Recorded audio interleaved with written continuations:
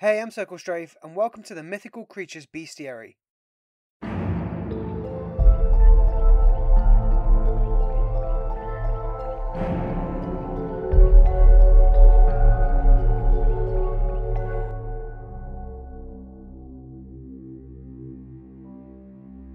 Today, we're going to be talking about the most famous Gorgon of them all, Medusa. Medusa is a unique chimera from Greek mythology. As a Gorgon, Medusa has a very specific combination of traits. She's humanoid for the most part, but she has snakes instead of hair and large wings on her back. Her most famous trait is her unendingly hideous looks, said to be so terrifying that they turn men to stone. There's a number of fairly diverse origin stories for this character, and we'll go over a couple of these now. Classically speaking, Medusa was seen as one of three sisters, all with similar traits.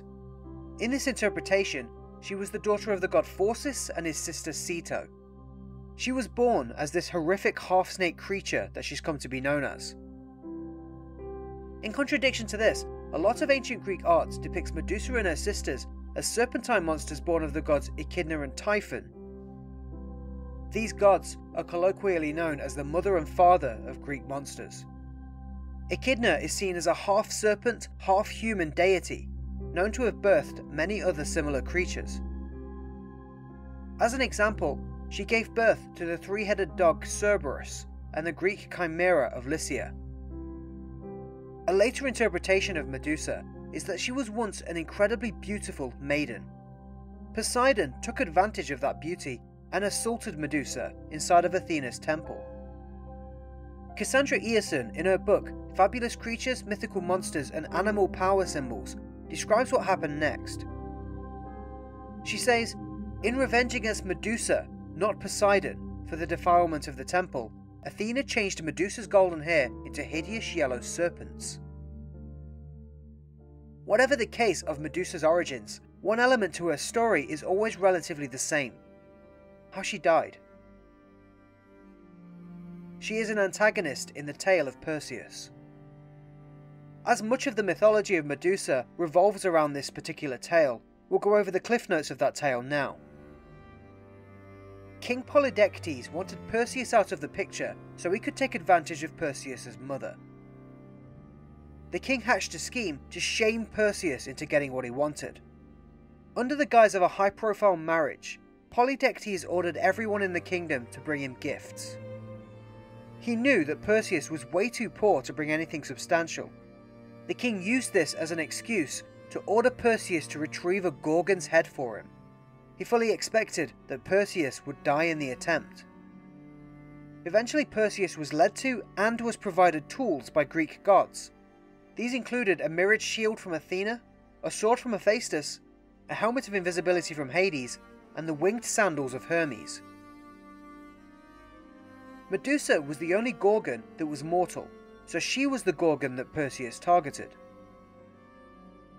Perseus approached the cave where Medusa and her sisters were sleeping. Using his mirrored shield and his godly sword, he sliced off Medusa's head and put it in a sack. The other two Gorgons tried to chase him around the cave, but his other godly tools let him make a swift and invisible exit. In the tale where Poseidon had defiled Medusa, from the decapitation sprung the offspring of that embrace. Out of her neck emerged Pegasus, the winged horse, and Chrysaor, the man with the golden sword. Chrysaor went on to father other creatures like Geryon, and quite interestingly, Echidna. Echidna, as we recall, was the mother of Medusa in some versions of the tale. Perseus travelled back home and found that his mother had been abused by the king. He discovered that she was forced to take refuge within a temple. Enraged, Perseus moved to meet King Polydectes, who was incredibly shocked to see Perseus still alive. The king asked if Perseus had brought what he originally wanted, and Perseus confirmed. He lifted up Medusa's head and turned to the king to stone. In one version of the tale, whilst travelling back to the king, Perseus used Medusa's head to turn Atlas to stone near Africa when Atlas tried to attack him. Droplets of Medusa's blood spilled onto the ground and turned into the vipers and snakes of Africa. other droplets fell into the sea, forming the stone like coral reefs of the oceans. According to the ancient poet Hesiod, Medusa's cave was said to be located on the island of Sarpedon, close to the Greek island of Lesbos. This island is a non existing mythical location. This concept was common within Greek myth, with other examples including the islands of Aeaea, Erythea, and the islands of the Blessed. A lot of tales tell of Medusa being born in the sea, explaining her island home and why many of her ancestral origins utilize ocean based deities. After his quest, Perseus gave Medusa's head to Athena. The goddess then placed the head on her shield, the Aegis. One of the snakes from Medusa's head shows up in a later Greek tale of Heracles, with its powers to turn people to stone still intact. Athena gifts the snake to the heroic figure so that he may save a town with it. Medusa's tale has been fairly uniquely long lasting for a Greek myth. She appears in numerous pieces of artwork and stories in different cultures throughout history. Her detached head appears in cameos of Roman tales as a protective symbol. Alexander the Great depicted her visage on his own breastplate whilst attempting to conquer the world.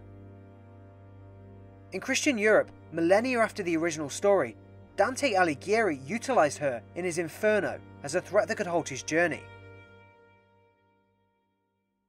That's it, thanks for watching. Thanks for liking and all the positive feedback so far. It really helps to support the channel.